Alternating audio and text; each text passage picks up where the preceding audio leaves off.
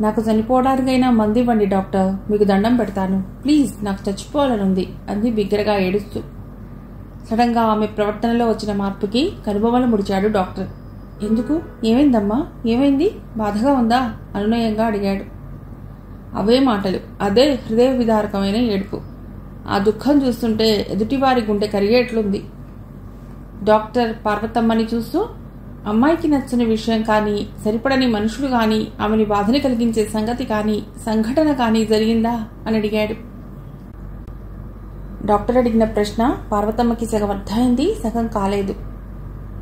అయినా దానికి ఇష్టం లేని మనుషులు ఎవరున్నారు డాక్టర్ గారు? అంతా మేమేగా? తనకు అర్థమైంది పట్టుకుని అంది. నర్సు వచ్చి ఇంజెక్షన్ ఇచ్చింది. డాక్టర్ అలాగే నిలబడి చూస్తుండిపోయాడు కొద్ది క్షణాలు. ఒక రోజంతా మళ్ళీ మత్తులో గడిపింది ఆమె. వారం రోజులకు గాని పార్వతమ్మ దృష్టిలో పిచ్చి ధోరణిగా కనిపించిన ఆమె మాటలు తగ్గలేదు. మళ్ళీ రాజా ఆమె కంటపడలేదు. వాళ్ళ మాటలో తెలిసింది అతడు ఊరెళ్ళాడని. నెల రోజులుంది హాస్పిటల్లో శాంతి. సరోజతో ఇప్పుడు మనసు విప్పి మాట్లాడుతోంది. ఇంతకాలం నన్ను మర్చిపోయావా? అడిగింది. లేదు తల్లి లేదు. అసలు భాస్కర్ని నీ గురించే మీ ఇంట్లో అద్దెకుండేలా చేశాను. ఆ కిరణ్ వాడి తల్లి బహు దుర్మార్గులు. నీకు ముందు ఇద్దరిని చేసుకున్నట్ట వాళ్ళల్లో ఒక్కత్తి లేచిపోతే ఇంకొకత్తి ఆత్మహత్య చేసుకుందిట. అది హత్యే అంటారు చాలామంది. నీ కేసు లాంటిదే మన లాయర్ అతగాడి పుట్టుపూర్వోత్తరాలని వెలికిలాగి కోర్టులో సాక్ష్యాలతో నిలబెట్టాడు. ఆశ్చర్యంగా చూస్తోంది శాంతి వింటూ. ఇంకా ఆశ్చర్యపోయే సంగతి విను. మీ ఆయన కన్ను నా మీద పడింది. ఛీ ఇంకా మీ ఆయన అంటానేమిటి? దరిద్రుడు. వాడు నాకు ఉత్తరం రాశాడు. అందుకే నీ దగ్గరికి ఇన్నేళ్ళు రాంది నేను. కానీ నీ గురించి భాస్కర్ ద్వారా తెలుసుకుంటూనే ఉన్నాను. నువ్వు రాసిన ఉత్తరాలు మీ అమ్మదాకా ఎందుకు పోలేదంటే ఖర్చవుతుందని మీ వదిన చించేసి ఉంటుంది అంతే తప్ప నిన్నెవరూ మర్చిపోలేదు. జరిగిందంతా కలనుకో. కొద్ది రోజులు అన్నయ్య దగ్గరుండి విశ్రాంతి తీసుకో. నీకు రెస్ట్ చాలా అవసరం. ముఖ్యంగా మానసికంగా చాలా అవసరం అన్నారు డాక్టర్. ఈలోపు ఇక్కడ ఏదైనా ఉద్యోగం చూస్తా. వచ్చి చేరుదువు గాని. నువ్వు అనంతపురంలో ఉన్నావంది అమ్మా. అవును నాన్నగారికి ట్రాన్స్ఫర్ అయింది. అక్కడే బీఈడీ చేశాను. ఉద్యోగ ప్రయత్నంలో ఉన్నా. పరిస్థితులు సరిగ్గా ఉండి ఉంటే నేను బీఈడీ చేసేదాన్ని కదూ? ఇప్పుడు మాత్రం ఏమైంది? ముందు కాస్త ఆరోగ్యం బాగుపడని తర్వాత ట్రైనింగ్ చేయొచ్చు. నీకు పట్టిన గ్రహణం వదిలింది. నీ భవిష్యత్ అంతా హాయిగా సాగుతుంది. దీర్ఘంగా నిట్టూర్చింది శాంతి. గతం ఎంత భయంకరంగా గడిచిందో భవిష్యత్తు అంత అయోమయంగా ఉంది ఇప్పుడు తుఫాన్లో నిలబడ్డట్టుంది. వచ్చిన తుఫాను పోయింది. ఇక భయం దేనికి? సముద్రానికి తుఫాను భయం లేదు సరోజా. తీరానికే భయం అంతా జీవితానికి తుఫాను భయం లేదు. ఎందుకంటే జీవితమే భయంలోనే ఉంది కాబట్టి. నీ మొహం ఇలాంటి ఆలోచనలతో మనసు పాడు చేసుకోకు. అలా ఆ పిల్లల మొహం చూడు. ఎంత చిన్నబోయారో. ఈ రోజు నుండి ఆ పిల్లలకి అన్నీ నువ్వే. శాంతి కళ్ళు తిప్పి చూసింది. పిల్లల్ని దగ్గరికి పిలిచింది. అవును నా లక్ష్యం నా ఆశలు అన్నీ నా పిల్లలే. నేను వాళ్ళ కోసం అనుకుంది. తర్వాత వారం రోజులకే అన్నతో తల్లితో హైదరాబాద్ వచ్చేసింది. ఇరవై మూడేళ్ళకే జీవితంలో అన్నింటినీ అనుభవించి అన్న ఇల్లు చేరుకుంది శాంతి. గోడ గడియారం ఐదు గంటలు కొట్టింది. జ్ఞాపకాల చివరి పేజీ తొలగటంతో ఉలిక్కి పడింది శాంతి. చేతిలో ఉత్తరం ఎంత భయంకరమైన గతాన్ని గుర్తు చేసింది. ఐదారేళ్ళే అయినా ఒక జీవితానికి సరిపడా చేదు అనుభవాలు మిగిల్చింది. ఎంత ఆలోచించినా ఇంతకీ ఆ అమృత హృదయుడెవరో తటస్థపడనే లేదు. శాంతి తన బయోడేటా పంపింది భాస్కర్కి. ప్రభాకర ఉత్తరం రాసిన వారానికల్లా ప్రశాంతి శిశు విహార్కి శాంతిని సూపరింటెండెంట్గా అపాయింట్ చేశారని వెంటనే వచ్చి జాయిన్ కమ్మని ఇల్లు కూడా చూసి పెట్టానని లెటర్ రాశాడు భాస్కరం. దుర్గా వెంకాయమ్మ కూడా సంతోషించారు ఆ వార్త విని. పోనీలే నాయన ఇన్నాళ్ళకి దాని కష్టాలు తీరాయి. ఎంతకాలమని పాపం అది మాత్రం నీ పంచన పడి ఉంటుంది. అమ్మని కూడా వెంట పంపు. ఈ గడుగ్గాయలతో బయట పని చూసుకోవడం కష్టం. అదీగాక ఆడపిల్ల ఒంటరిగా దేనికి? అంది వెంకాయమ్మ అది నిజమే అమ్మని పంపుతాను శాంతి వెంట అన్నాడు ప్రభాకరం. ఏమమ్మా మరదల ఉద్యోగస్తురాలివయ్యావు ఈ వదిన్ని మర్చిపోకు అంది దుర్గా. అదేమిటదినా పుట్టెడు దుఃఖంతో వచ్చిన నన్ను ఇంట్లో పెట్టుకుని ఆదరించో. నిన్ను మర్చిపోతానా? పోనీలేమ్మా నీకైనా ఆ మాత్రం అభిమానం ఉంది. ఇంత చేసినా నీకు ఇంకా ఏదో చేయలేదని మీ అమ్మ సాధిస్తూనే ఉంది. అమ్మకి పెద్దతనం చాదస్సం ఆమె మాటలు పట్టించుకోకు అంది శాంతి. మర్నాడు తల్లిని పిల్లల్ని తీసుకుని బస్ ఎక్కింది శాంతి. భాస్కర్ బస్టాండ్కి వస్తానని రాశాడు. ఈ ఆడిటింగ్ లేకపోతే నేనే వద్దును. భాస్కర్ని అడిగానని చెప్పు. వచ్చే వారం వస్తాను నేను అన్నాడు ప్రభాకరం. పిల్లలకు పళ్ళు బిస్కెట్లు కొనిచ్చాడు. జీవితం చెదిరిపోయి మనస్థిమితం లేక అయోమయ స్థితిలో వచ్చిన శాంతి జీవితం పట్ల విశ్వాసంతో ధైర్యంతో బతుకుబాటలో పయనించడానికి పెడుతోందంటే అతనికి ఆనందంతో కళ్ళల్లో నీళ్ళు తిరిగాయి. చెయ్యి ఊపుతుండగా బస్సు కదిలిపోయింది. బస్సు గుంటూరు వచ్చేసరికి ఐదు దాటింది. అందరూ దిగాక చివరగా పార్వతమ్మ దిగడానికి సాయం చేసి పాపని దింపుతుంటే పిల్లని అందుకున్నాడు భాస్కర్. తల్లి చీర కొంగు పట్టుకుని నిలబడ్డ బాబుని రారా అంటూ తీసుకుంది సరోజ. సరోజ ఆనందంగా చూసింది ఆమె వైపు శాంతి. ఆమె చేతిలోని సామాన్లు అందుకున్నాడు భాస్కర్. కూలీ వాడికి కొన్ని సామాన్లు ఇచ్చారు. స్టాండ్ దాటి బయటకు వస్తున్నారు. నాకు ఇక్కడే ఉద్యోగం వచ్చింది. ప్రశాంతి గర్ల్స్ హై స్కూల్లో సైన్స్ టీచర్గా. అక్కడే ఉన్న శిశు విహార్లో నువ్వు సూపరింటెండెంట్గా. ఇద్దరం కలిసి వెళ్ళవచ్చు. అంది సరోజ. శాంతికి కొండంత ధైర్యం అనిపించింది. తను ఒంటరి కాదు. తన వెంట సరోజ భాస్కర్ ఉన్నారు. ఇల్లెక్కడ తీసుకున్నారు? మా పిన్ని బ్రాడీపేటలోనేగా ఉంది. వాళ్ళింట్లోనే రెండు గదుల పోర్షన్ ఒకటి ఖాళీ అయింది. అది నీకు మాట్లాడి ఉంచా అంది. ఆటోల్ని రిక్షాల్ని వద్దంటున్నాడు భాస్కర్. రోడ్డు మీదకి వచ్చారు తెల్లటి కారు ఆగి ఉంది అక్కడ భాస్కర్ని చూస్తూనే డ్రైవర్ ఎదురొచ్చి అతని చేతిలోని సూట్ కేసు బెడ్డింగ్ అందుకున్నాడు. కూలీ తెచ్చిన సామాన్లు డిక్కీలో పెట్టారు. కారు కారు అమ్మా కారు అంటూ దీప్తి సంబరపడింది. బాడుక్కి మాట్లాడాను. ఆటోలు మూడు కావాలి. వాటికైనా అంతే అవుతుంది కదా? ఎక్కండి అన్నాడు భాస్కర్. ఆడవాళ్ళు ఎక్కాక డోర్ వేసి డ్రైవర్ పక్కన కూర్చున్నాడు అతడు కారు కదిలింది. బ్రాడీపేటలో లైన్ క్రాస్ రోడ్ చెప్పింది సరోజ. నేరుగా కార్ ఇంటి ముందుకు వచ్చి ఆగింది. అప్పటికే ఆ వాకిట్లో తన వయస్సే ఉన్న ఆడవాళ్ళిద్దరూ ఓ నడి వయస్సు స్త్రీ పదహారేళ్ళ అమ్మాయి నిలబడున్నారు. అరవై ఏళ్ళ వ్యక్తి రోడ్డు మీదే ఓ పక్కగా నిలబడి చూస్తున్నాడు. అదిగో వచ్చేశారు అన్నాడా ఆయనే. భాస్కర్ దిగాడు. మెల్లిగా అంతా దిగారు. సరోజ వాకిట్లో నిలబడ్డ వాళ్ళని చూపుతూ ఆవిడ పార్వతమ్మ గారు ఆయన విశ్వనాథం గారు ఈ పిల్ల భారతి. వాళ్ళ అమ్మాయి. ఈవిడ అలివేలు. వీళ్ళంతా మన కాంపౌండ్లోనే ఉండేది. ఇక అని సరోజ అంటుండగానే ఏమిటి? రోడ్డు మీదేనా? అన్న గొంతు లోపల నుండి వినిపించింది. ఆ కంచుకంఠం మా పిన్ని భగీరథమ్మది. ఈ ఇంటి ఓనర్. పద లోపలికి. శాంతి వాళ్ళందరికీ చిరునవ్వుతో పలకరింపుగా చూసి లోపలికి వచ్చింది అప్పటికే భాస్కర్ సామాన్లు శాంతి వాటా ముందు పెట్టించేశాడు. శాంతి పర్స్ తీసి డబ్బివ్వబోగా ఏమిటి? అంత ఎక్కువగా ఉందా? ఇటీవ తల్లి నెల ఖర్చు అంది శాంతి ఆ డబ్బు తీసుకుంటూ. అదేమిటి? ఆ కారుకి? ఆ విషయం భాస్కర్ చూసుకుంటాడు. Office car. ఊరుకో అంది నోట్లు తిరిగి పర్సులో పెడుతూ. ఇదిగో పిన్ని ఈఎంఐ శాంతి. నమస్కారం అండి అంది శాంతి. భగీరథమ్మ ఆకారం భీకరంగానే ఉన్నా మాట మెత్తగా ఉంది. సరోజకి తాళం చెవిస్తూ ఈ పూటకి వంట పని పెట్టుకోకండి. నేను చేసి పెట్టాను. ప్రయాణం చేసి వచ్చారు. స్నానాలు చేసి విశ్రాంతిగా కూర్చోండి అంది భగీరథమ్మ. పార్వతమ్మ ఆవిడ పక్కనే కూర్చుంటూ ఎందుకండి అక్కయ్య గారు మీకు శ్రమ? ఎంతసేపు చేస్తాను? అంది వరుస కలుపుతూ. రేపు చేసుకోండి. ఈ పూటకి మా ఇంట్లో తినవలసిందే అంటూ ఈ భడవలిద్దరూ స్కూల్కి పోతున్నారా? అంది పిల్లల్ని చూస్తూ. లేదండి ఈ సంవత్సరం జాయిన్ చేస్తాను అంది శాంతి.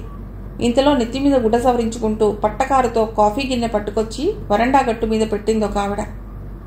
ఎంతైనా సుబ్బమ్మ గారి గుణం బహుదొడ్డది అందరికీ కాఫీ తీసుకొచ్చారు అంది సరోజ భారత్ ఇచ్చిన గ్లాసుల్లో కాఫీ వంపుతూ. ఆవిడ నోట్లో ఏదో గొణుక్కుంటోంది. జపం చేస్తోంది అంది భారతి. శాంతిని పిల్లల్ని చూసి వీళ్ళేనా? అన్నట్లు చేత్తో సంజ్ఞ చేసి అడిగింది. ఆ వీళ్ళే. హైదరాబాద్ నుంచి వచ్చింది. అంది సమాధానంగా భగీరథమ్మ కాస్త బిగ్గరగా. సుబ్బమ్మకి కాస్త చెవుడు. ఆవిడ శాంతి వైపు ఒకసారి చూసి తన వాటాలోకి వెళ్ళిపోయింది. అక్కడ పడకుర్చీలో కూర్చున్న ఆయన రామారావు గారు. ఈ అలివేలు వాళ్ళ ఆయన. ఆ పిల్ల డాలీ అలివేలు కూతురు. వాళ్ళని చూపుతూ అంది సరోజ. భారతి బావి దగ్గర బకెట్లకి నీళ్ళు తోడిపెట్టి తల్లితో తమ వాటాలోకి వెళ్ళిపోయింది. మొత్తానికి కొత్త వాతావరణంలో మనుషులంతా ఒకేసారి పరిచయం అయ్యారు. ఆ రాత్రి భగీరథమ్మ ఇంట్లో భోజనం చేసి కబుర్లు చెప్పుకుంటూ పడుకున్నారు. తెల్లారి సామాన్లు సర్దుకోవటంలో అంతా సాయపడ్డారు. శాంతికా ఇల్లు ఆ మనుషులు నచ్చారు. తొమ్మిది గంటలకల్లా భాస్కరం వచ్చాడు. అతనితో కలిసి శాంతి సరోజ స్కూల్కి బయలుదేరారు. రెండెకరాల విస్తీర్ణంలో కట్టబడిన ఆ బిల్డింగ్లు ఒకటి హై స్కూలు తర్వాతది సేవా సదన్ అవతల శిశు విహార్. వీటన్నిటినీ కొత్తగా ఓ కమిటీ నిర్వహిస్తోంది. మొదట ఇదొక బాలికా పాఠశాల. చిన్న సేవా సదనం ఉండేది. దీన్ని స్థాపించి నిర్వహించిన మధుసూదన శర్మ గారు మరణించడంతో దీని నిర్వహణ కుంటుపడింది. వారసులు దీన్ని అమ్మే ప్రయత్నంలో ఉండగా ఓ ధర్మాత్ముడు కొన్నాడు. దీనికి మేనేజింగ్ డైరెక్టర్ కేఆర్ కాంత్ గారు. అసలు ఆయన ఎప్పుడూ రాడు. క్లుప్తంగా ఆ పాఠశాల గురించి పరిచయం చేసింది సరోజ. సరోజ రిజిస్ట్రార్లో సంతకం పెట్టి తన క్లాస్కి వెళ్ళిపోయింది. భాస్కర్ శాంతిని తీసుకుని హెడ్ మిస్ట్రెస్ దగ్గరికి వచ్చాడు. ఆవిడ భాస్కర్ని చూస్తూనే ఈవిడేనా ప్రశాంతి? అంది. అవునండి. ఇద్దరు నమస్కారం చేశారు. కుర్చీలు చూపించింది ఆవిడ. కూర్చున్నారు ఇద్దరు బెల్ నొక్కింది ఆవిడ. ప్యూన్ లోపలికి వచ్చి వినయంగా నిలబడ్డాడు. విశాలాక్షిని రమ్మను అంది. అతడు వెళ్ళిపోయాడు కొద్ది క్షణాల్లో నల్లగా లావుగా ఉన్న ఆవిడ వస్తూనే పిలిచారుట అంది. చూడండి ఈవిడ ప్రశాంతి గారిని మన శిశు విహార్ సూపరింటెండెంట్గా కొత్తగా అపాయింట్ చేయబడ్డారు. ఇదిగో ఇందులో ఆఫీస్ స్టాఫ్లో మార్పులు చేస్తూ కాంత్ గారి దగ్గర నుండి లెటర్ వచ్చింది. దీని ప్రకారం చేయండి అంది. అలాగేనండి అంటూ ఆ లెటర్ అందుకుందామి. శాంతి వైపు చూసి మీరు ఆవిడతో వెళ్ళండి. వర్క్ నాలుగు రోజులు చూస్తే తెలుస్తుంది అంది హెడ్ మిస్ట్రెస్ ప్రశాంతి భాస్కర్ వైపు పెడతానన్నట్లుగా చూసి హెడ్మిస్ట్రెస్కు నమస్కారం పెట్టి బయటకు వచ్చింది శిశువిహార్లో తనతో పాటు రికార్డ్స్ అకౌంట్స్ చూసే రంగధామం గారు టైపిస్ట్ వైదేహిలను పరిచయం చేసింది విశాల. వైదేహి తన వయస్సే. రంగధామం గారు యాభై ఏళ్ళ పైబడిన వారు. ప్యాంటు షర్టు వేసుకున్న క్రాఫ్ వెనక పిలక నుదుట త్రిపుండ్రాలు తమాషాగా ఉన్నాడు ఆయన. వైదేహి కొన్ని శిశు విహార్కి సంబంధించిన ఫైల్స్ రికార్డ్స్ తెచ్చిచి చూడండి అంది. శాంతి రికార్డ్స్ చూస్తుండగానే ఒంటి గంట అయింది. సరోజ తనే వచ్చింది. ఇద్దరూ కలిసి లంచ్ తీసుకున్నాక వెళ్ళిపోయింది సరోజ. బుక్స్ కరెక్షన్ ఉందంటూ. వైదేహి శాంతికి తమ స్కూల్ సేవా సదన్ అన్నీ చూపుతూ వాటి గురించి చెబుతోంది ఈ సేవా సదన్ విడోస్ హోమ్. ఆర్థికంగా బాగా వెనుకబడ్డ ఆడవాళ్ళు భర్తల చేత విడవబడ్డ వాళ్ళు భర్త పోయిన స్త్రీలు ఇక్కడ ఆశ్రయాన్ని పొందుతారు. టైలరింగ్ ప్లాస్టిక్ బుట్టల అల్లిక ఎంబ్రాయిడరీలు చేయడం నేర్పుతారు. విస్తళ్ళు కుట్టడం అప్పడాలు వడియాలు పచ్చళ్ళు వేయించి అమ్మిస్తారు. పెట్టుబడి మరి సేవాసదనే ఇస్తుంది. ఇది జీవనాధారం చాలా మందికి. ఇంగ్లీష్ హిందీ నేర్పిస్తారు. ఇంట్రెస్ట్ ఉన్న వాళ్ళకి టెన్త్ క్లాస్ ఇంటర్కి చదివిస్తారు. డ్రాయింగ్ టైప్ లాంటివి నేర్పిస్తారు. అన్నిటికంటే వాళ్ళకి మానసికంగా ధైర్యాన్ని ఇస్తారు మగవాడి అండ లేకుండా ధైర్యంగా మా కాళ్ళపై మేము నిలబడగలం అన్న గుండె బలాన్ని కలిగిస్తారు. అసలు ఈ మానసిక శక్తి వాళ్ళకి సగం దుఃఖం పోగొడుతుంది. వాళ్ళకి దీనికే ప్రత్యేకంగా క్లాస్ ఉంటుంది. వాళ్ళకి మానసిక బలాన్ని ఇవ్వటమే ఈ క్లాసు లక్ష్యం. ఇహ ఈ శాంతి విహార్ అంటే శిశు విహార్ పసిపిల్లలది. అనాథ బాలల బాలికలను చేర్చుకుంటారు. సేవాసదంలోని స్త్రీల పిల్లలు కూడా ఉంటారు ఇక్కడ. రెడ్ క్రాస్ కూడా కొంత సాయం చేస్తుంది వీళ్ళకి. అంది వైదేహి. శిశువిహార్లో నెలల నుండి పది సంవత్సరాల పిల్లల దాకా ఉన్నారు. మధ్యాహ్నం విశాల శిశువిహార్ అంతా తిప్పి చూపించింది శాంతికి. ఆయాలు పనివాళ్ళు కొత్త సూపరింటెండెంట్ శాంతికి నమస్కారం చేశారు. శుచి శుభ్రత సౌకర్యాలు ఉన్నాయి. శాంతి శిశువిహార్ గురించి రాత్రి వరండాలో పడుకున్నప్పుడు తల్లితో చెప్తుంటే భగీరథమ్మ సరోజ కూడా విన్నారు. ఇందరు అనాథాలను పోషిస్తూ వారిలో చైతన్యాన్ని మానసిక స్థైర్యాన్ని కలిగించేందుకు కృషి చేస్తున్న ఆ వ్యక్తి ఎంత అభినందనీయుడు? అంది శాంతి చివరికి. దీప్తిని మా స్కూల్లోనే చేర్పిస్తాం అంది శాంతి. అలాగే అదే మంచిది. మీతో తీసుకువెళ్ళొచ్చు పిల్లని అంది పార్వతమ్మ.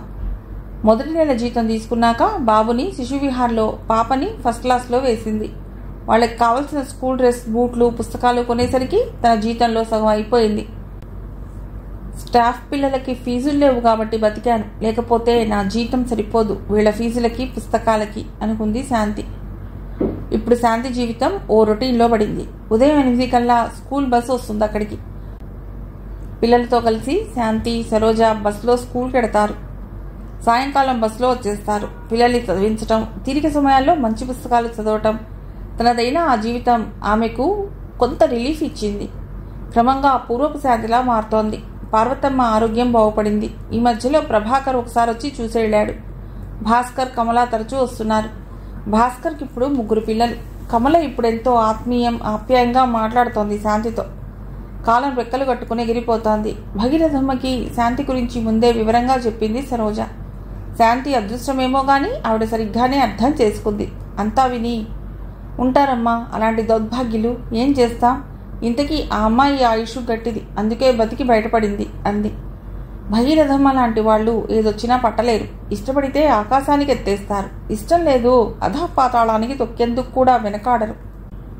ఆమె భర్త పోయే నాటికి పాతికేళ్ళు ఒక్కగానొక్క కొడుకు చలపతిని ఇంటిని కనిపెట్టుకుని భర్తకొచ్చే పెన్షన్ డబ్బులతో ఇళ్ళ మీద వచ్చే అద్దె డబ్బులతో పిల్లవాడిని చదివించి పెళ్ళి పేరంటం చేసింది. పెద్దవాళ్ళు చాదస్తంతో గుండు గీయించి తెల్లబట్ట చుట్టించారు ఆమెకి.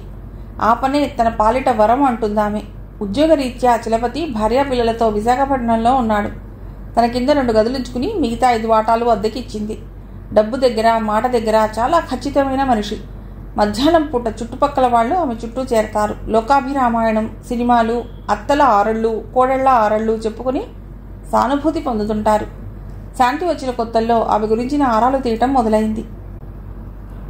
అవును భగీరథం వదిన ఆ అమ్మాయి బొట్టు పెట్టుకుంటుంది. పిల్లలున్నారు. మొగుడేడి? అంది సుబ్బమ్మ. ఎందుకట్ట ఎందుకట్టాంటి మొగుడు? ఉన్నా పోయినా ఒకటే జైల్లో ఉన్నట్ట. చివరికి తల్లిని పిల్లల్ని కలిపి తగలబెట్టేందుకు సిద్ధపడితే అప్పుడప్పుడు వస్తాడే భాస్కరం అని అతగాడొచ్చి రక్షించాట పేపర్లో చదవటమే కానీ నిజంగానే జరుగుతున్నాయన్నమాట. ఆశ్చర్యంగా చూస్తూ అంది సుబ్బమ్మ గారు. జరగనివి. ఈ పేపర్ వాళ్ళు మట్టుకు ఎందుకు రాస్తారు? చిదిమి దీపం పెట్టొచ్చు పిల్లని. వాడికేం పోయే కాలమో? రత్నాల్లా ఉన్నారు పసిపిల్లలు. వాళ్ళని కూడా తగలబెట్టాలని చూశాట వాడేం కనతండ్రో? వింటున్న శ్రోతలు శాంతి పట్ల అమిత జాలి ప్రదర్శించారు. మనవాళ్ళ పిల్ల ఆ తల్లిని చూశారుగా. బొత్తిగా సత్యకాలపు మనిషి. అన్న ఉన్నాడు గాని వాడి సంసారం వాడిది. ఎల్లకాలం ఒకరు పోషించేది కాదమ్మా. ఎంతైనా ధైర్యం గలది. తల్లిని పిల్లల్ని తీసుకుని వచ్చేసింది స్కూల్లో ఉద్యోగం చేసుకుంటోంది. అంది భగీరథమ్మ. చూసంగా పిల్లను బుద్ధిమంతురాలే. తన పనేమో తనేమో అంది సావిత్రమ్మ. మూడో వాటాలో ఉంటారు వాళ్ళు. అవును పలకరిస్తే చక్కగా మాట్లాడుతుంది అంది అలివేలు. అలివేలు వాళ్ళు అక్కడే నాలుగో వాటాలో ఉంటారు. ఆమె భర్త రామారావు సాత్వికుడు మున్సిపల్ స్కూల్లో లెక్కల టీచరు. వాళ్ళకో అమ్మాయి దాన్ని అందరూ డాలీ అని ముద్దుగా పిలుస్తారు. రామారావుకి కూతురంటే పంచ ప్రాణాలు అతడు ఎక్కడికి వెళ్ళినా డాలీ లేకుండా వెళ్ళాడు. ఇంట్లో అలవేలిదే పెత్తనం. అయినా అతడు పట్టించుకోడు. స్కూల్ నుండి రాగానే డాలీతో అతడి ప్రపంచం ముడిబడి ఉంటుంది. సుబ్బమ్మ గారు కోడలు శాంత కొడుకు కాశీపతితో నాలుగో వాటాలో ఉంటారు. శాంత పేరుకు తగ్గట్టు అణుకువ వినయం కలిగిన పిల్ల. ఆ అమ్మాయిని ఏమైనా అంటే మట్టుకు భగీరథమ్మ సుబ్బమ్మనే కేకలేస్తుంది. పరాయి పిల్ల నీ ఇంటికొచ్చింది నీ బిడ్డలాగా చూసుకున్నావంటే నీకు మంచి పేరు. ఆ పిల్ల కూడా నిన్ను అభిమానిస్తుంది. దాంతో మీ సంసారం సుఖంగా సాగుతుంది. కాదు దాన్ని ఏడిపించావో మీ మధ్య తగాదాలు వస్తాయి అవి మీ ఇద్దరి వరకే పరిమితం కావు. ఆ భార్యాభర్తల మధ్య కూడా తలెత్తుతాయి. నీ కొడుకు అటు నీకు ఇటు భార్యకి ఎటూ చెప్పుకోలేక నలిగిపోతాడు. ఇంత రభస దేనికి? ఇంతకాలం ఈ సంసార రథం ఈడ్చావు కృష్ణారామ అనుకో ఈ పెత్తనం ఇంకా నీకు దేనికి? సంసార బాధ్యతలు నీ కొడుక్కి కోడలికి అప్పగించు. పెద్దదానిగా మంచి చెడు చెప్తుండు సుఖపడతావు అని మంత్రోపదేశం చేస్తుంది. ఆవిడ మంత్రం నాలుగు రోజుల్లో పనిచేసేది. తిరిగి సుబ్బమ్మ చనువుడు యథాప్రకారం సాగుతూనే ఉండేది. రకరకాల మనుష్యులు మనస్తత్వాల మధ్య జీవితం రంగుల పటంలా ఉంది శాంతికి. శాంతి ఇరుగు పొరుగులచే బుద్ధిమంతురాలన్న సర్టిఫికేట్ సంపాదించుకుంది. అన్నిటికంటే ముఖ్యమైన జటిలమైన సమస్య ఈ ఇరుగు పొరుగుతోనే. వీళ్ళలో రకరకాల వ్యక్తిత్వాలు మనస్తత్వాలు గలవాళ్ళు ఉంటారు కొందరు నిందలు వేయటానికి పుకార్లు పుట్టించడానికి వెనుకాడరు. అయితే శాంతి అదృష్టమేమో గాని వటవృక్షం లాంటి భగీరథమ్మ నీడ దొరికింది. అయినా కొన్ని దుస్సంఘటనలు అనుకోకుండా ఎదురవుతూ ఉంటాయి. అలాంటిదొకటి శాంతి ఎదుర్కోవలసి వచ్చింది. భగీరథమ్మ దూరపు చుట్టాల అబ్బాయి చివరి వాటాలో ఉండి యూనివర్సిటీలో ఎంఫిల్ చేస్తున్నాడు. సన్నగా పొడుగ్గా ఎర్రగా ఉంటాడు అతడు. ఎప్పుడూ ఇస్త్రీ మడతలు నలగని బట్టలు స్టైల్గా ఉండటానికి కనపడటానికి ప్రయత్నిస్తుంటాడు. విశ్వనాథం గారు తరచూ తమ ఇంటికి భోజనానికో ఫలహారానికో పిలుస్తూ ఉంటాడు అతన్ని అతని పేరు అనిల్ కుమార్.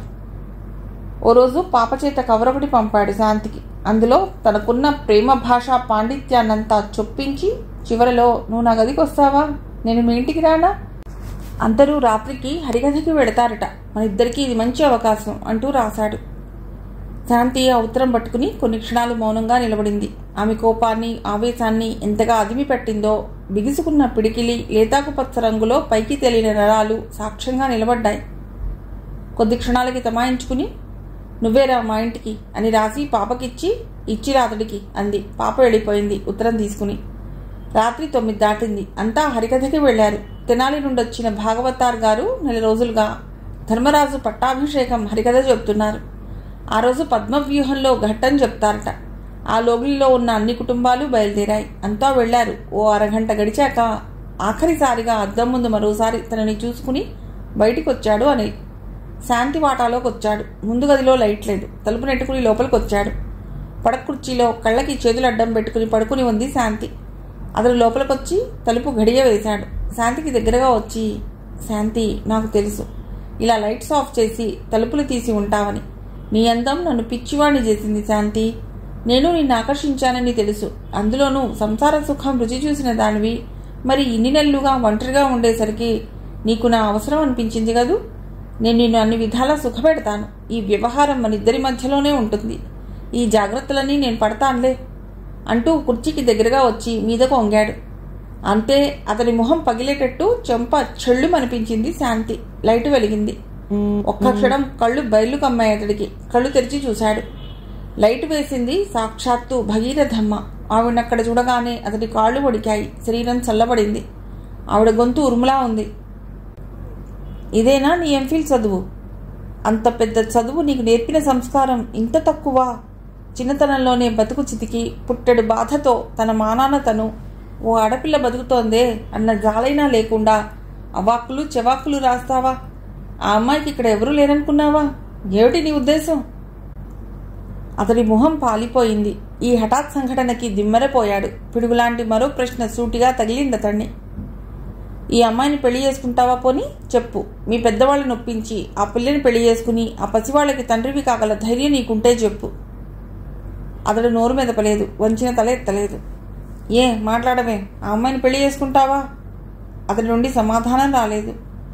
పెళ్ళెందుకు చేసుకుంటాడు పెద్దమ్మ? చాటుమాటు వ్యవహారాలు నడపాలని చూసే ఇలాంటి చీడపురుగుల్ని నిలువునా తగిలేసిన పాపం లేదు. థూ నీకు సిగ్గులేదు పెళ్ళి చేసుకునేందుకు పనికి రాలేదు కానీ ఇప్పుడు పనికొచ్చిందా? ఆవేశంగా అడిగింది సరోజ. భగీరథమ్మ వెనుక ఆ లోగుల్లోని వాళ్ళంతా ఉన్నారు. వాళ్ళెవరూ హరికథకి పోలేదు. వెళ్ళినట్లే వెళ్ళి దొడ్డివాకిలికుండా అంతా శాంతి వంటింట్లో కూర్చున్నారు. లైట్లు తీసేసి. అయినా నీకు ఇదేం పోయే కాలం? అంత తీటగలవాడివి పెళ్ళి చేసుకోరాదు. ఇలాంటి రకాలు సంసారాల మధ్య ఉండకూడదండి అంది అలివేలు. తక్షణం ఇక్కడి నుంచి పో. ఈ ఛాయలు మరోసారి కనిపించావంటే పోలీసులకు పట్టిస్తాను. గద్దించారు విశ్వనాథం గారు. నువ్వు రేపే గది ఖాళీ చేయి. నువ్వు ఇక్కడ చేసిన నిర్వాకం నేను మీ నాన్నకి ఉత్తరం రాస్తాను అంది భగీరథమ్మ. అవమానంతో మొహం కందగడ్డలా అయిపోయింది అతడికి. పిలిచి పరాభవిస్తుందా? చూస్తాను దీని సంగతి. పళ్ళు నూరుకుంటూ అక్కడి నుంచి వెళ్ళిపోయాడు అనిల్ కుమార్.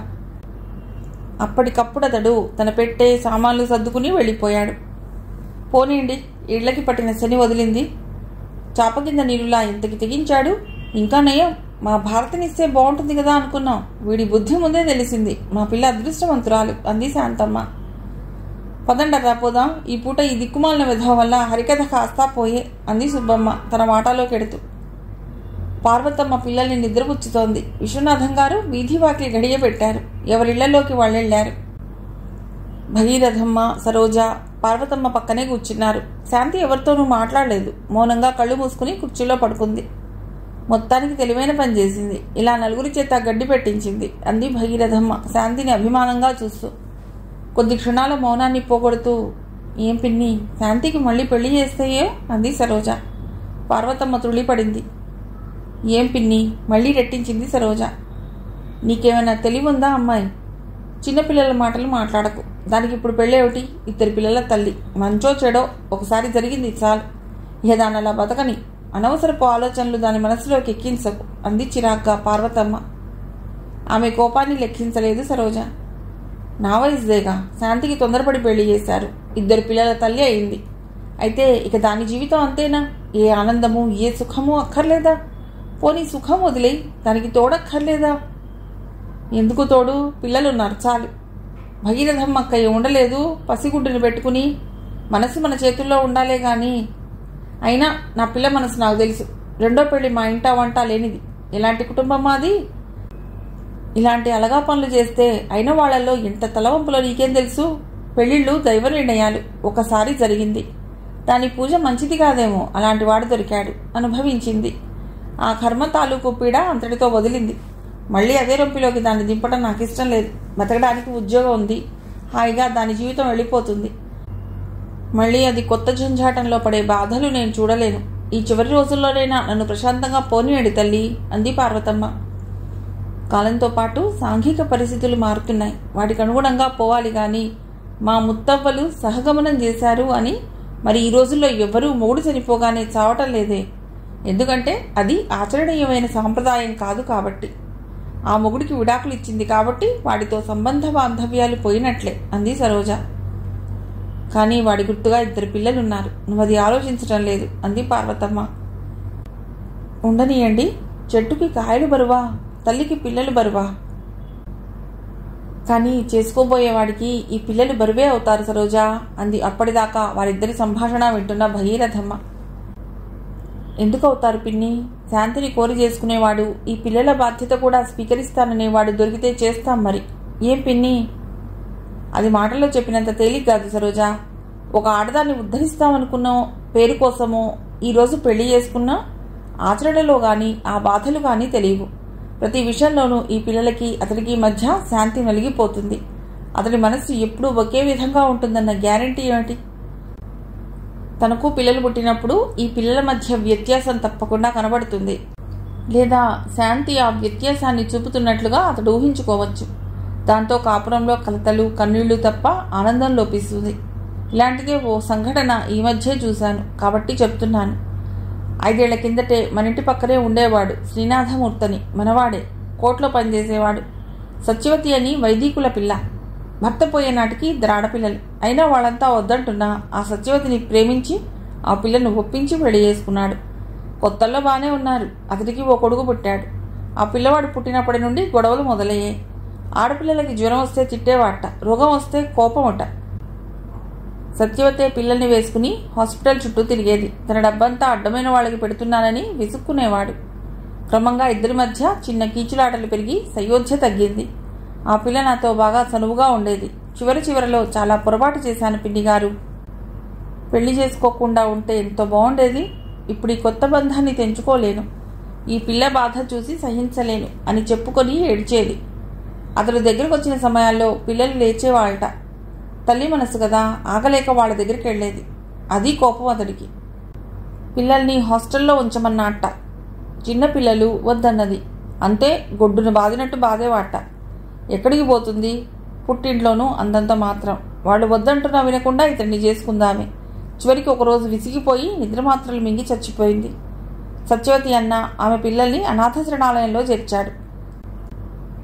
శ్రీనాథమూర్తి తన కొడుకుని పెంచమని తల్లికిచ్చి మళ్ళీ పెళ్ళి చేసుకున్నాడు. ఇట్లా ఉంది ప్రపంచం. ఆలోచన లేకుండా ఆవేశంతో చేసే పనులు ఇలాగే ఉంటాయి. కన్నబిడ్డకి ఆరోగ్యం బాగోలేనప్పుడు పెళ్ళాం కోసం వెంపలాడతాడా ఈ కన్నతండ్రైనా? వాళ్ళని అనాథ శరణాలయంలోనో హాస్టల్లోనో చేర్చమంటాడా? ఇలాంటివి ఇంకా సవా లక్ష ఉన్నాయి చెప్పాలంటే.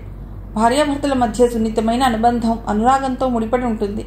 అది తెగిపోయిన రోజున ఆ సంసారం అనవసరం. ఎందుకు చేసుకున్నా నీ పెళ్ళి అని ఒక్కసారి మనసు కనిపించినా ఇక ఆ సంసారానికి అర్థం లేదు. పైగా నీకు నాకన్నా అనుభవం ఎక్కువే అంటూ ఆ పిల్లని చీటికి మాటికి మాటలతో కుళ్ళబడిచేవాట. ఎందుకొచ్చిన నరకం అది? అందరూ అతడిలా ఉంటారా పిన్ని? ఆమె పిల్లని తన పిల్లలుగా ప్రేమించేవారుండరా? ఉండవచ్చు. ఎక్కడో నూటికి ఒక్కడు. మగవాడి మనస్సు అద్దం మీద నీటి బిందువు లాంటిది. అది ఎటు జారుతుందో చెప్పలేం. కీడించి మేలించడం మంచిది కదూ? ఒకసారి జీవితంలో దెబ్బతిని మళ్ళీ ఎందుకు కష్టాలు కోరి తెచ్చుకోవటం? జరిగిందేదో జరిగింది. ఈ జన్మకింతే ప్రాప్తం అనుకోవటం మంచిది. పెళ్ళి మాటలొద్దు. పిల్లలు లేకపోతే పెళ్ళి చేసుకోవచ్చు. కానీ పిల్లలతో పెళ్ళి శాంతికి మరో నరకమే సుమా? బాగా చెప్పావక్కయ్యా ఊరుకో అమ్మాయి. నీ చిన్నతనపు మాటలతో నా పిల్ల మనస్సు పాడు చేయకు. ఇప్పుడు దానికేం తక్కువ? హాయిగా ఉంది. ఏం తక్కువైందా? పాతికేళ్ళైనా లేని దాని జీవితం మోడైందే. జాలి వేయటం లేదు మీకు? అదలా విరాగిలా ఉంటే బాధగా లేదు? లేదు నాకు ఎలాంటి బాధ లేదు. నిన్న మొన్నటిదాకా అది పడ్డ బాధలు చూశాక నా పిల్లకు పెళ్ళెందుకు చేశానా అని బాధపడుతున్నాను. పెళ్ళొద్దు పెటాకులొద్దు. దాని అలా నిశ్చింతగా ఉండని ఆవులిస్తూ లేచిందామె. భగీరథమ్మ లేచి పెడతా పార్వతి తలుపు వేసుకోండి నిద్ర వస్తోంది అంటూ తన గదివైపు వెళ్ళిపోయింది. భగీరథమ్మ వెళ్ళాక తలుపు వేసొచ్చి పార్వతమ్మ ఎదురుగా కూర్చుంది సరోజ. శాంతి హాస్పిటల్లో ఉన్నప్పుడు రాజా అని ఒక ఆయన మనకెంతో సాయం చేశాడు. గుర్తున్నాడా? అంది సరోజ. పార్వతమ్మ ఓ క్షణం ఆగి అయితే అంది కనుబొమ్మల ముడిచి. అతడు శాంతిని పెళ్ళి చేసుకుంటానంటున్నాడు. నీకు ఇప్పటిదాకా చెప్పిందేమిటి? పెళ్ళి మాట ఎత్తకు తల్లి నీ పెద్దలకు నమస్కారం. నా మాట శాంతం విను. అతడు శాంతి నేను మేమంతా ఒకే కాలేజీలో చదువుకున్నాం. అప్పుడు బాబాయ్ కలకత్తా వెళ్ళింది ఇతడి గురించే. అతనికే విదేశీ పిల్లతో పెళ్ళి కాలేదు. అంతా నాటకం. పార్వతమ్మ ఆశ్చర్యంగా చూస్తూ ఏమిటి? అంది. అవును మేనమామ కూతురి బారి నుండి తప్పించుకోవటానికి ఆడిన నాటకం అది. ఇల్లుగల వాళ్ళమ్మాయి జెర్సీతో పూలదండలు వేయించుకుని ఫోటో తీయించుకుని పంపించాడు. అంతేగాని అతడికి పెళ్ళి కాలేదు. అతడికి పెళ్ళయిందని మేనమామ కూతురు వేరెవరినో పెళ్ళి చేసుకుందిట. ఫ్యాక్టరీ గొడవలన్నీ సద్దుమణిగాక లాయర్ రమ్మని రాయగానే ఇండియా వచ్చేశాడు అతడు అతడు రాసిన ఉత్తరాలు మాకెందుకు అందలేదంటే భాస్కర్ గ్రామం వెళ్ళిపోతూ ఇల్లుగల వాళ్ళతో తనకొచ్చిన ఉత్తరాలు జాగ్రత్త చేయమని చెప్పాట వారం వారం అతడు వెళ్ళేవాట అయితే ఆ ఇల్లుగల వాళ్ళకో పిచ్చి పిల్ల ఉందిట. అది భాస్కర్కి వచ్చిన ఉత్తరాలన్నీ తీసి చదివి చించి పారేసేదిట. ఆ తర్వాత భాస్కర్ ఆరాధిస్తే తెలిసింది ఇది అలా రాజా సంగతులేవి తెలియకుండా పోయాయి. నాలుగైదేళ్ళే కదా శాంతి చదువుకుంటూ ఉంటుందనుకున్నట్ట రాజా. తీరా వచ్చి చూస్తే శాంతికి పెళ్ళైందని తెలిసింది. భాస్కర్ రాజాని కలిసి జరిగిన సంగతంతా చెప్పాడు. రవికాంత్ రాజా స్నేహితులు. కిరణ్ గురించిన వివరాలు రవి కొన్ని చెప్పాడు. వాళ్ళు పూనుకోబట్టే ఆనాడు కిరణ్ అతడి తల్లిదండ్రులు తప్పించుకోలేకపోయారు. శాంతి జీవితం ఇలా కావటానికి తను ఓ రకంగా కారణమేనని బాధపడ్డాడు అతడు ఇప్పటికీ అతడికి శాంతిపై అనురాగం తగ్గలేదు. ఇప్పుడు చెప్పు పిన్ని ఆతృతగా అడిగింది సరోజ. ముందు గదిలో పడకుర్చీలో పడుకుని వింటున్న శాంతి కొన్ని నిమిషాలు దిగ్భ్రాంతిలో పడిపోయింది. విధి తన జీవితంతో ఎంత క్రూరంగా ఆడుకుందో గ్రహించాక ఆమె మానసిక స్థైర్యం కోల్పోయింది. ఇంతకాలం రాజాని మోసగాడిగా భావించినందుకు అసహ్యించుకున్నందుకు కోపగించుకున్నందుకు సిగ్గుపడింది. అతడి ప్రేమకు తను అర్హురాలా? నిన్నింతకాలం శపించిన నా అవివేకాన్ని మన్నించు నేస్తాం. అతడు తన కళ్ళెదుట నిలబడ్డట్టుగా భావించుకుని చెప్పుకుంటూ ఏడుస్తోందామె. అవతల గదిలో సరోజ పార్వతమ్మని మళ్ళీ అడిగింది. చెప్పు పిన్ని శాంతిని ఆమె బిడ్డల్ని కంటికి రెప్పలా చూసుకుని ప్రేమించే వ్యక్తికి శాంతినిచ్చి పెళ్ళి చేస్తే తప్పేమిటి?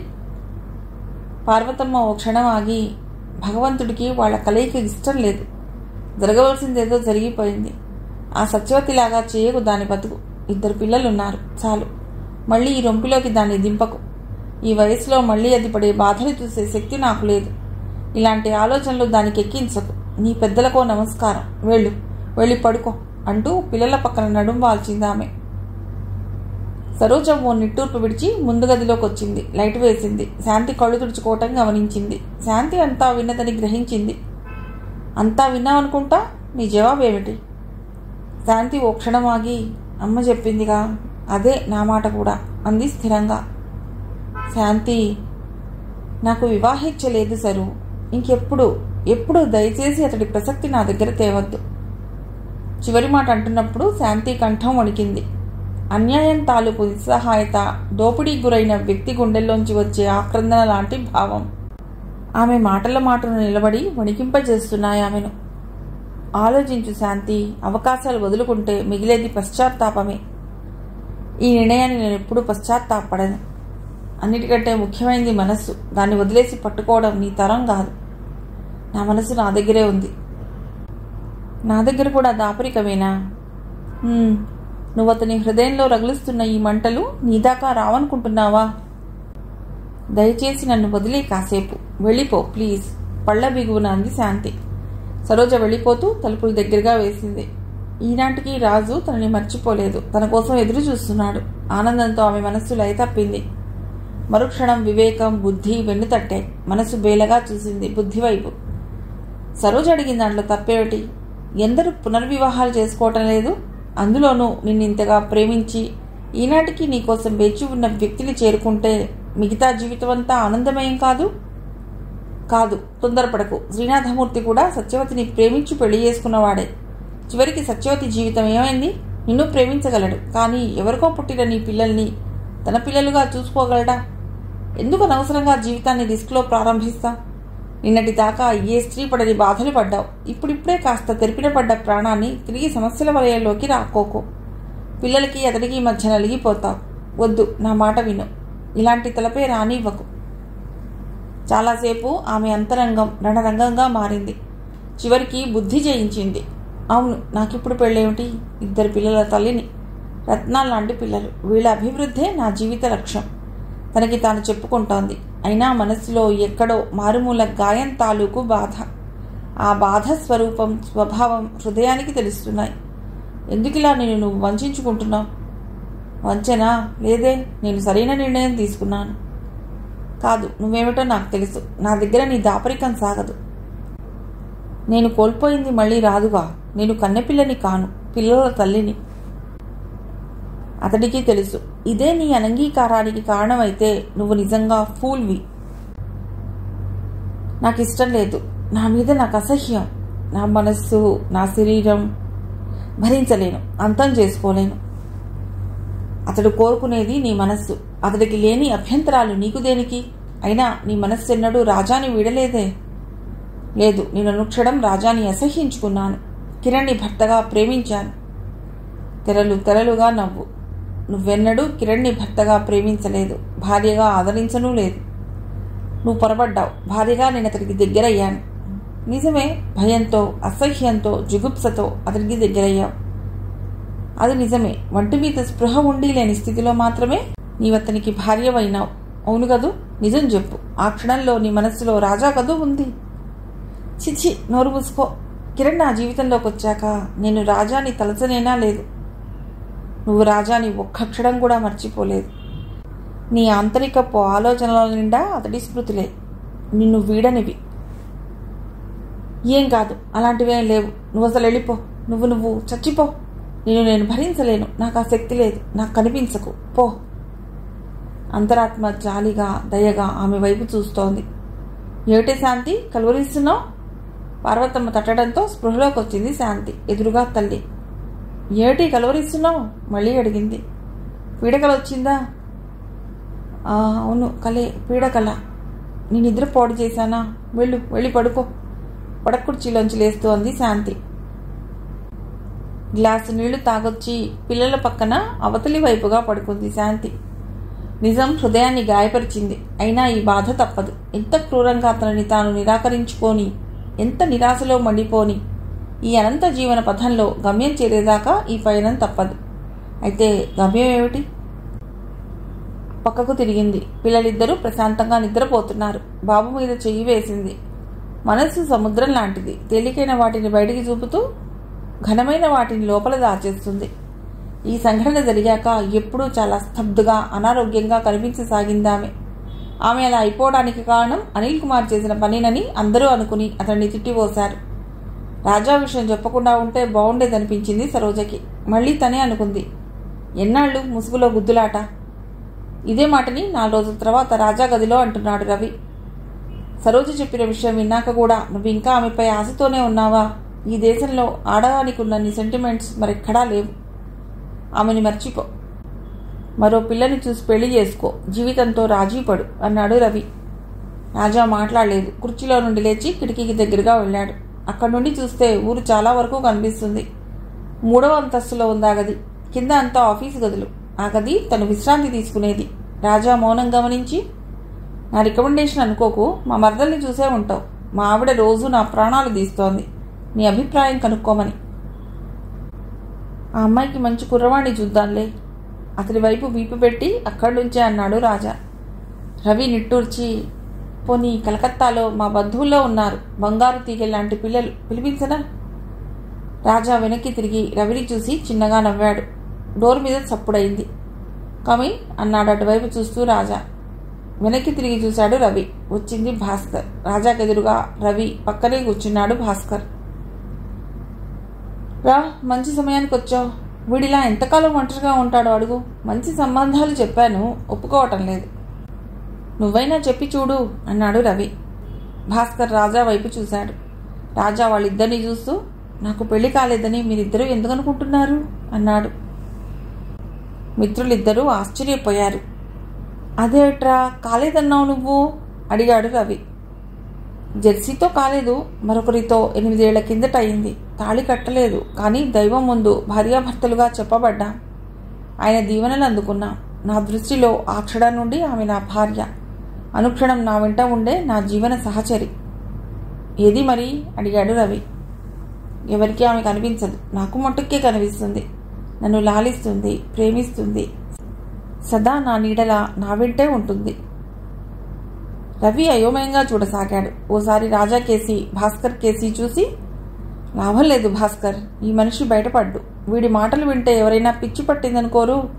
ఎంతకాలం ఇలా ఊహల్లో బతుకుతాడు? తన కళల్ని నిజం చేసుకునే సత్తా ఉండి కూడా కళల్లో తృప్తిపడే మనుషులంటే నాకెంతో చిరాకు. ఆ చిరాకుని మాటల్లో చెబుతూ అన్నాడు రవి. రాజానికి చదవటం చాలా కష్టం రవి అన్నాడు భాస్కర్ మెల్లిగా. చదవటం తెలియాలే గాని ప్రతి మనిషి ఓ మంచి పుస్తకం బాచి కుర్చీలో కూర్చుంటూ అన్నాడు రాజా. నీ కర్మ ఇంకా నే పోతున్నా. నువ్వు అలా కళలతో వేదాంతంతో బతుకు లేస్తూ అన్నాడు రవి. గుడ్ నైట్ భాస్కర్ నువ్వన్నా కాస్త తలకెక్కించు నీ ఫ్రెండ్కి. వెళ్ళిపోతూ అన్నాడు రవి. నాలుగు నిమిషాల తర్వాత కారు వెళ్ళిపోయిన చప్పుడు. ఇద్దరి నడుమ నిశ్శబ్దం. మాటల కన్నా గంభీరంగా శ్రావ్యంగా మాట్లాడుతుంది మౌనం. నిమిషాలు గడుస్తున్నాయి. చివరికి తనే మొదలెట్టాడు భాస్కర్. ఇంతకీ తేలిందేమిటంటే ఆవిడికి అంతే. ఆశ వదులుకో. నీ జీవితాన్ని ఇప్పటికైనా మరో మలుపు తిప్పుకోవటానికి ప్రయత్నించు. రాజా ఓ సెకండ్ శాంతి అలా మానసికంగా ఎందుకు దెబ్బతిందో తెలుసా? ఒకవైపు సాంప్రదాయం. అతడితో గడిపిన ఆ చేదు జీవితం ఆ భయంకర స్మృతుల్ని మర్చిపోలేక. మరోవైపు నన్ను మర్చిపోలేక నరకయాత్ర పడుతోంది. ఆ నరకయాత్ర నుండి తప్పించి తన జీవితంలో వసంతాన్ని ఆనందాన్ని ఇచ్చే వ్యక్తి చేయుట ఎందుకు అందుకోదు? అయినా నీ పద్ధతి కూడా నాకు నచ్చలేదు. నువ్వు ఆమెను ముఖాముఖి కలిసి ఎందుకు మాట్లాడవు? ఎందుకంటే నా సమీప్యాన్ని ఆమె సహించలేదు. ఆమెకు నేను అక్కర్లేదు. నా ప్రేమ ఆమెకు నాపై నమ్మకం కలిగించలేదు. అది నా దురదృష్టం. దగ్గరగా వెళ్ళి ఆమెను ఇంకా బాధించలేను. ఈ జీవితాలు ఇంతే ఆ గొంతులో దుఃఖపు చీర స్పష్టంగా కనిపిస్తోంది. భాస్కర్కి అతను నా స్థితిలో చూసేసరికి గొంతుకేదో అడ్డుపడ్డట్లై మాట పెగల్లేదు. ఆ రోజు ఆమె నన్ను చూసి మతి చెలించిన దానిలా అయిపోయింది. గుర్తుందా? కారణం నాకు తెలుసు. అవును ఆమెకి తెలియకుండా నువ్వు అక్కడే ఉండి ఎంత సహాయపడింది మా అందరికీ తెలుసు. కానీ తెలియవలసిన వ్యక్తికి తెలియకపాయే ఆమె అందుకే అపార్థంలో ఉందేమో. తనకి చేసిన సహాయానికి కృతజ్ఞతతో నన్ను చేరుకోవాలని కాదుగా కోరేది. ఆమె నా మీద నమ్మకంతో మనస్ఫూర్తిగా నన్ను ఇష్టపడాలి. అంతేకాని కృతజ్ఞతతో కాదు. భాస్కర్ లేచాడు. గడియారం చూసుకుని పదకొండు కావస్తోంది. ఇంటికి పోవా? ఇల్లా చిన్నగా నవ్వి ఇదే ఇల్లు ఇదే ఆఫీస్. ఇదిగో ఆ రూమ్లోనే పడక ఏర్పాటు చేసుకున్నాను. బాయ్ క్యారియర్ తెచ్చిపెడతాడు. ఇహ ఇంటితో ఏం పని? నిరాశ కొట్టొచ్చినట్లు ఆ మాటల్లో వ్యక్తం అవుతోంది నువ్వు మరోసారి నీ గురించి ఆలోచించు. ఆమెని మర్చిపోమని చెప్పను కానీ ఒంటరి ప్రయాణం కష్టం. నీ జీవితాన్ని పంచుకుని నేను అర్థం చేసుకోగలిగి నీకు ఆనందం కలిగించే వ్యక్తితోడు నీకు కావాలి. అలాంటి అమ్మాయిని చూడనా? ఆనందం ఇవ్వలేని వాడికి దాన్ని అనుభవించే హక్కు లేదు బాచి. నన్ను ఇలా వదిలే. మనిషి పనులే అతడి ఆలోచనల్ని సూచిస్తాయి. మనిషి ఎప్పుడూ కోరకూడనిదే కోరుతాడులా ఉంది. అవును వెలుతురు ఉన్న చోట నీడ కూడా ఉంటుంది. నేలలో పాతేసిన నిజం తమాషాగా ములిచి వస్తుంది బాచి. కాలాన్ని అర్థం చేసుకున్న మనుషులైతే జీవితాన్ని అర్థం చేసుకోగలరు. తనలో తను అనుకున్నట్లుగా అన్నాడు భాస్కర్. వెళ్ళటానికి రెండు అడుగులు వేశాడు. నేను రేపు మధ్యాహ్నం నుండి ఊరెడుతున్నాను. బహుశా ఇప్పట్లో రాను. రెండు రోజులకోసారి ట్రంక్ కాల్ నేనే చేస్తుంటాను. అలాగే పెడతా మరి. Good night. భాస్కర్ వెళ్ళిపోయాడు. కుర్చీలో చాలాసేపు అలాగే కూర్చుండిపోయాడు రాజా. గడియారం అరగంట కొట్టింది. పదకొండున్నర. స్నానం భోజనం ముగించి పక్కపై వాలాడు. దిండు కింద నుండి ఫోటో తీశాడు. అది నరసింహస్వామి గుడి నుండి బయటకొచ్చిన. తామిద్దరినీ కలిపి తీసిన ఫోటో. చూస్తున్న అతడి కళ్ళల్లోకి క్రమేపీ వెలుగొచ్చింది. ఆ కళ్ళల్లో అతడి కళ్ళు నక్షత్రాల్లా మెరవసాగాయి. ఆ ఫోటోని గుండె కాంచుకున్నాడు. నువ్వు పలక్కపోతేనే నీ మౌనంలోనే నేను నీ హృదయం చదవగలను నీ మనసు స్థిమితపడని అది ఎన్ని సంవత్సరాలైనా పట్టని నీకోసం ఎదురు చూస్తాను. కళ్ళు మూసుకున్నాడు. ఈ బాధ గుండెలు పిండే ఈ బాధని అనుభవించేది నేనొక్కడే నేననేవాణ్ణి లేకపోతే ఈ విరహానికి చోటెక్కడ? ఇప్పుడు నన్ను ఆవరించుకుని ఆనందంతో తల మునకలవుతోంది. ఆనందించు నాలాగా నిన్ను పోషించేవాడు ఉండడేమో. నన్ను ఆవరించుకుని నిశ్చింతగా బతుకు. మూసిన అతడి కను కొలకుల నుండి నీటి బిందు ఒకటి జారి దిండులో కొరిగింది. విరహం కూడా అతడి బాధకి జాలి తలచి వేడి కన్నీటి బొట్టొకటి రాల్చినట్లుంది. కళ్ళు తెరిచి ఫోటోలోని శాంతి కేసు చూస్తూ ఈ ఒంటరితనం భరించడం ఎలా? కనీసం ఆ శక్తినైనా నాకివ్వు. అతడు ఫోటోని గుండెలకి హత్తుకుని కళ్ళు మూసుకున్నాడు. కొద్ది నిమిషాల తర్వాత తెల్లని బట్టల్లో శాంతి శాంతి దూతలా వచ్చింది అతడి దగ్గరికి. అతడి తల ఒడిలోకి తీసుకుంది. నుదురుపై పడిన జుట్టు సరిచేసింది. శాంతి నిజంగా వచ్చావా? నా కోసం వచ్చావా? ఆత్రంగా అడిగాడు అతడు. శాంతి సమాధానంగా చిరునవ్వు నవ్వింది. అతడి తలని గుండెలకి హత్తుకుంది. శాంతి అతడి పెదవుల నుండి మాట పైకి రాలేదు. ఆమె ఎదలో ఒదిగి నిద్రలోకి జారిపోయాడు. ఊహలు మనిషికి దేవుడిచ్చిన వరాలు. శాపాలు కూడా. ఒక చక్కని ఊహ ఒక కల్పన. అతడి బతుకులో కొన్ని క్షణాలు స్వర్గాన్ని నింపుతోంది. అమరుణి చేస్తోంది. ఆ క్షణాల కోసం అతడు జీవిస్తాడు. ఒక్కోసారి జీవితాన్ని తేలిక చేసేది ఆ పాటి ఆనందం మాత్రమే కావచ్చు. అది కూడా లేనప్పుడు మానవుడి ఉనికి ఒక విషాదానుభవంగా మిగిలిపోతుంది. ఆ ఆనందం మంచు బిందువులా సున్నితమైంది. నవ్వుతూనే అది నిష్క్రమిస్తుంది. కాలంలా సంవత్సరం ఆఖరు. ఆ ఏటి జమా ఖర్చులన్నీ చూస్తున్నారు. ఆడిట్ జరగబోతోంది. శిశువిహార్కి సంబంధించిన ఖర్చు వ్యవహారం అంతా రంగనాథన్ చూశాడు. శాంతి ఆ బుక్స్ తెప్పించి లెక్కలు చూస్తోంది. తను చూశాక ఫైనల్ ఇన్స్పెక్షన్ జరుగుతుంది. లెక్కల్లో ఐదు వేలు తేడా వస్తోంది. శాంతి రంగనాథాన్ని పిలిచింది. ఈ ఫైల్స్ మీరు చూసినవే కదా? అడిగింది. అవునమ్మా నేను ఒకటికి రెండు సార్లు చూసే మీకు పంపించాను అన్నాడు. ఐదు వేలు తేడా వస్తోంది. చూడండి అంది బుక్స్ ఆయన వైపు పెట్టి. ఐదు వేల ఆశ్చర్యపోయాడు రంగనాథం. అవును మీరు ఐదు వేలకి లెక్క చూపించాలి. రేపటికి నాకు వాటి వివరాలు బిల్స్తో చూపించండి. ఆ క్లాక్ని కూడా మరోసారి వెరిఫై చేయమనండి. రేపు సాయంకాలానికల్లా సబ్మిట్ చేయమన్నారు విశాల గారు అంటూ మిగతా ఫైల్స్ మీద సంతకాలు పెట్టింది శాంతి. రంగనాథం ఆ ఫైల్ తీసుకోకుండా అలాగే నిలబడ్డాడు. కొద్దిసేపు అయ్యాక శాంతి తలెత్తి ఆశ్చర్యంగా చూసి మీరు ఇంకా ఇక్కడే నిలబడ్డారా? ఏమిటి? ఏం కావాలి? అడిగింది. రంగనాథం ఎదురుగా ఉన్న కుర్చీలో కూర్చుంటూ చూడమ్మాయి నువ్వు చిన్నదానివి అనుభవం లేని దానివి పెద్దవాణ్ణి. నీ మేలు కోరేవాణ్ణి చెప్తున్నా. మనం మనం ఒకటి. మనమంతా ఇక్కడ పనిచేసేవాళ్ళం. మన కష్ట సుఖాలన్నీ ఒకటి. అవునా?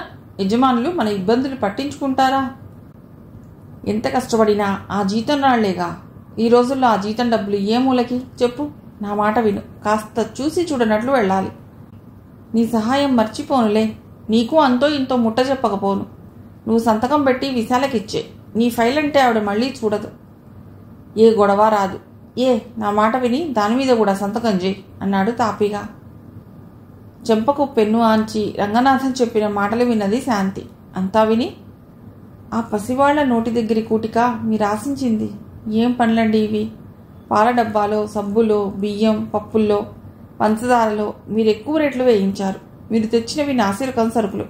సగానికి సగం లాభం కదూ? ఎవరో దయామూర్తి ఈ అనాథలపై జాలి తలిచి ఈ మహాసంస్థని పోషిస్తూ నీలాంటి పందికొక్కల్ని తెలియక కాపలా పెట్టాడు. నీలాంటి వాళ్ళని బయటపెట్టకపోతే చెదపురుగుల సంస్థ అంతటిని చెడ్డ పేరు వచ్చేలా కొరికేస్తాం.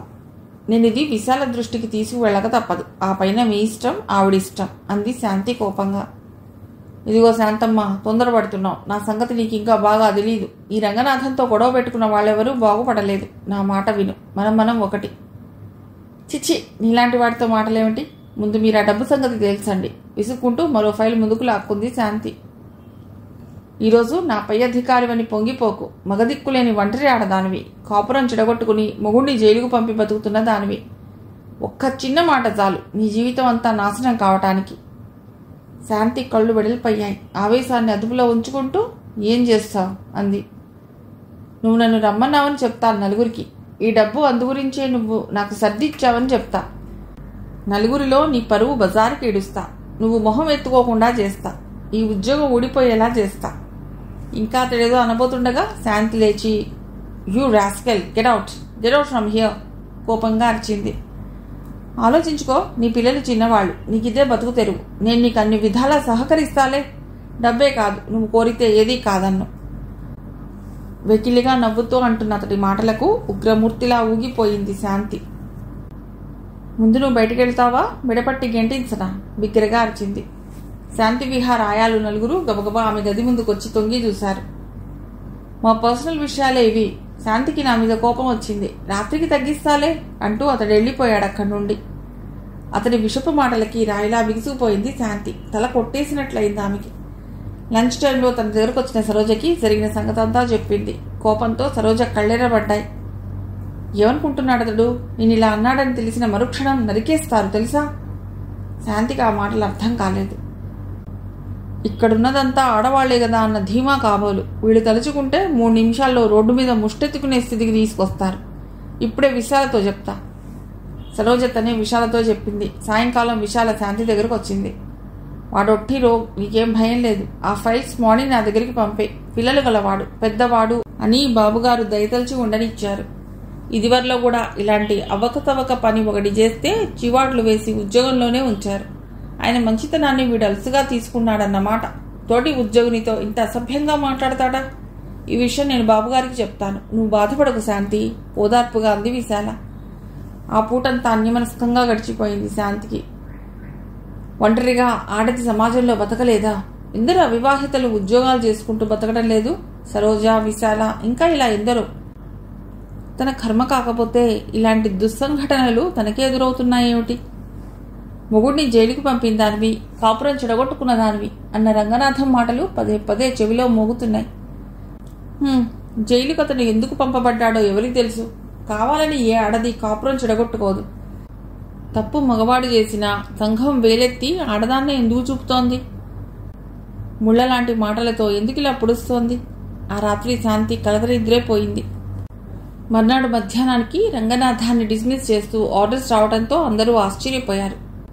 నా తప్పేమిటో తెలియజేయకుండా నన్ను పిలిచి అడగకుండా ఇలా తీసేయడం ఏమిటి? దీని అంతు కనుక్కుంటా అని హెడ్ మిస్సెస్ దగ్గర రంకెలు వేశాడు రంగనాథం. మీరు బయటికి వెళ్ళి అరవండి ఇక్కడ కాదు అందామె తన పని చూసుకుంటూ. రంగనాథం బిగ్గరగా అందరినీ తిడుతూ పెద్ద పెద్ద అంగలతో స్కూల్ ఆవరణ దాటాడు. అంతే అతడు మళ్ళీ స్కూల్లో అడుగుపెట్టలేదు. పర్వాలేదు ప్రపంచంలో ఆడదానికి విలువ గౌరవం ఇంకా ఉన్నాయి అనిపించింది శాంతికి.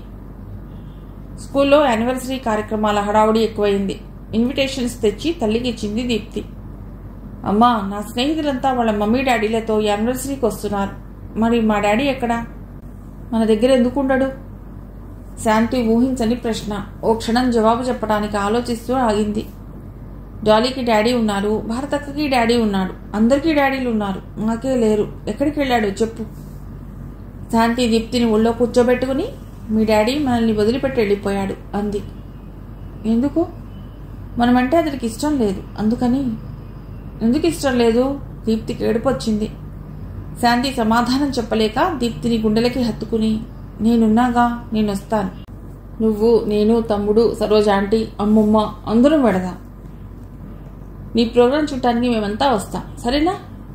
దీప్తి సరేనట్లు తలుపి ఒక క్షణం ఆగి అసలు ఇంకెప్పుడు మా డాడీ రారా? అంది. ఆ గొంతులో ఏడుపు స్పష్టంగా కనిపిస్తోంది.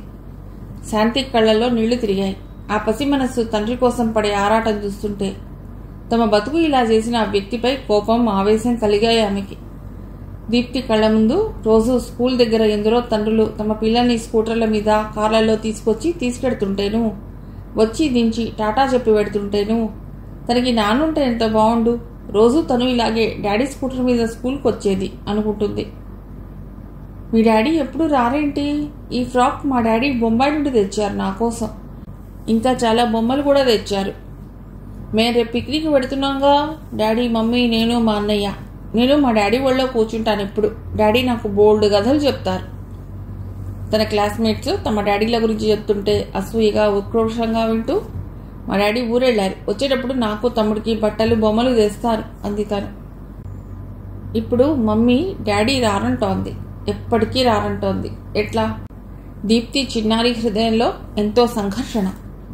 తలెత్తి తల్లికేసి చూసి యానివర్సరీ రోజు కాసేపు డాడీని రమ్మని చెప్పు. నా ఫ్రెండ్స్ చూశాక వెళ్ళిపోమ్మను అంది. శాంతి దీప్తిని హత్తుకుని ఏడ్చేసింది బయట నుండి సరోజ వంటింట్లోంచి పార్వతమ్మ గబగబా వచ్చేశారు. ఏమిటేమిటంటూ? దీప్తి సరోజ కేసు చూసి డాడీ గురించి అడిగితే ఏడుస్తోంది అంది. సరోజ దీప్తిని ఎత్తుకుని బయటికి తీసుకెళ్ళింది. పార్వతమ్మ కళ్ళు తుడుచుకుంటూ దుర్మార్గుడు పసిబిడ్డల ఉసురు పోసుకుంటున్నాడు అనుకుంటూ వంటింట్లోకి వెళ్ళింది. సరోజ ఏం చెప్పిందో దీప్తి మరెన్నడూ తండ్రి ప్రసక్తి ఎత్తలేదు. యానివర్సరీ నాడు బాలగోపాల తరంగంలో దీప్తి కృష్ణుడిగా వేషం వేసింది. ప్రోగ్రాం అయిపోయాక దీప్తి తన వారి దగ్గరకు వచ్చింది అమ్మమ్మలు భాస్కరమ్మయ్య అంతా తనని ఎత్తుకుని ముద్దు పెట్టుకున్నారు. అచ్చం చిన్ని కృష్ణుడిలా ఉన్నావే భడవా అన్నారు అమ్మమ్మలిద్దరు. ఆట పోటీల్లో తనకొచ్చిన బహుమతులు కూడా చూపించింది దీప్తి. అందరూ తనని మెచ్చుకుంటుంటే ఆ చిన్నారి మనస్సు పొంగిపోయింది. ఇంటికొచ్చాక భగీరథమ్మ దీప్తికి దిష్టి తీసింది. అలివేలు డాలీకి చిన్న చిన్న జూకాలు చేయించింది. తనకు కూడా అలాంటివి కావాలని మారాన్ చేసింది దీప్తి. బంగారం అప్పటికప్పుడు కొనటం మాటలా ఏం చేయాలి? ఆలోచిస్తోంది శాంతి. ఏనాడో పెట్టె అడుగున పడేసిన మంగళసూత్రాలు గుర్తొచ్చాయి. వాటితో దీప్తికి జూకాలు చేయించింది. ఆ సూత్రాలు కనిపించినప్పుడల్లా గతం కళ్ళ ముందు మెదిలి భూతాన్ని చూసిన పసిబిడ్డలా వణిగిపోయేది తను. ఇప్పుడు గుర్తొచ్చిన మానిన గాయంలా అయింది తప్ప ఎలాంటి బాధ లేదు. ప్రైవేట్గా ఎంఏ రాయాలని చదువుతోంది. శిశు విహార్ నుండి రాగానే చదువు ధ్యాస తప్ప మరో ఆలోచన లేదు ఆమెకి. పిల్లల్ని చదివిస్తూ తను చదువుకుంటూ ఎంఏ ఫస్ట్ క్లాస్లో పాస్ అయింది. చిన్న చిన్న ఆటుపోట్లు ఎదురైనా ధైర్యంగా ఎదుర్కొంటూ జీవితంలో ముందుకు పోయేందుకు కృషి చేస్తోంది శాంతి.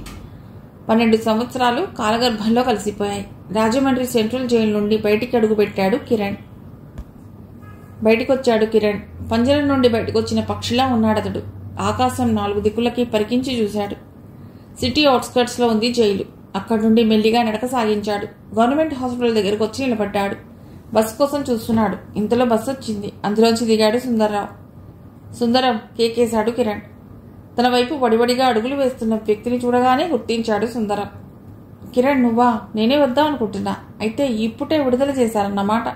నడు మీ అమ్మ హాస్పిటల్లో ఉంది అంటూ హాస్పిటల్లోకి నడిచాడు. కిరణ్ అతన్ని అనుసరిస్తూ అమ్మకి ఏమైంది? అని అడిగాడు. సుందరం ఓసారి కిరణ్ కేసు చూసి నీలాంటి కొడుకుంటే తల్లి ఆసుపత్రి పాలుగాక ఏమవుతుంది? నీ గురించి ఆవిడ బెంగంతా. దేనికి? విడుదల కాననా? నువ్వు తొందరపడకుండా ఉండి ఉంటే మూడేళ్ళ కిందటే బయటకు వచ్చేవాడివి రెండుసార్లు పారిపోవటానికి ప్రయత్నించి పట్టుబడితివి. పద్నాలుగేళ్ళకి రావాల్సిన వాడివి పదిహేడేళ్ళు ఉన్నావు జైలు నుండి బయటపడటం అంత తేలికనుకున్నావా? సన్న సన్నగా చివాట్లు పెట్టాడు సుందర. నాతో పాటు జైల్లో ఒక గజ దొంగ ఉన్నాడు.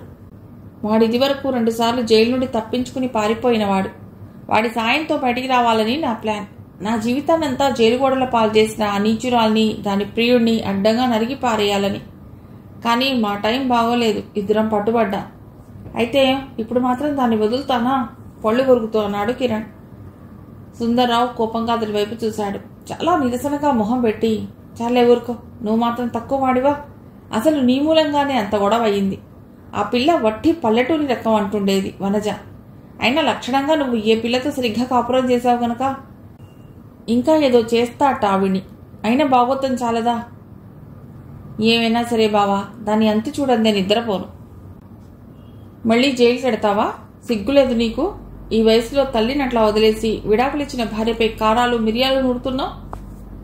కిరణ్ మాట్లాడలేదు. తల్లిని చెల్లిని బావ సుందర్రావు ఇన్నేళ్ళు సంరక్షించాడని తెలుసు. అదీగాక సుందర్రావుతో ఇలా మాట్లాడకూడదు.